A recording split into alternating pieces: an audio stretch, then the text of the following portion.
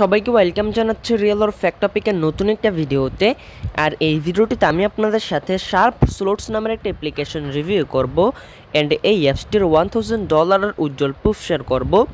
যেটি দেখলে আপনারা জানতে পারবেন Sharp Slots app real or fake Sharp Slots app legit or scam and Sharp Slots app really payment or not so please watch the full video for details প্রথমত আমি আপনাদের সাথে উজ্জ্বল প্রুফ শেয়ার করব।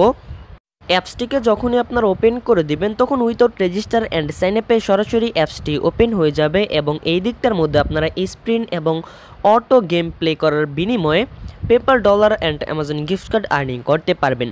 তো যখনই আপনাদের পেপার ব্যালেন্সের মধ্যে ওয়ান থাউজেন্ড ডলার হয়ে যাবে, তখন এখান থেকে আপনারা উইড্রো করতে পারবেন।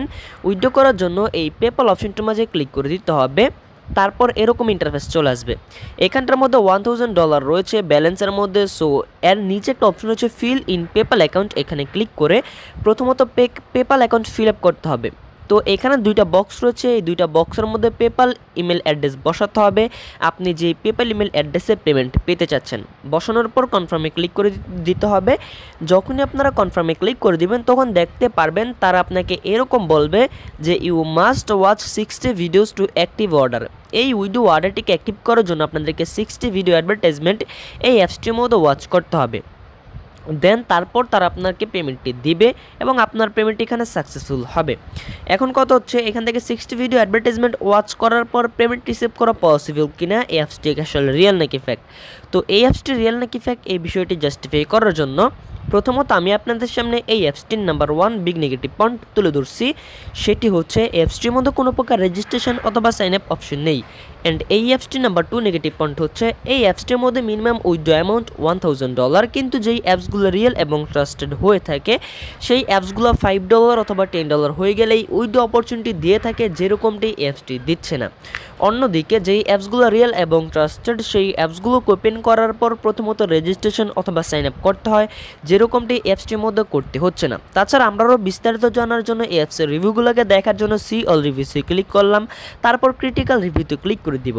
ক্রিটিক্যাল রিভিউতে ক্লিক করে দেওয়ার পর এখান থেকে আমরা একটা রিভিউ আমাদের চোখে পড়বে জাস্ট আনাদার স্কেম গেম এখান থেকে বলতেছে।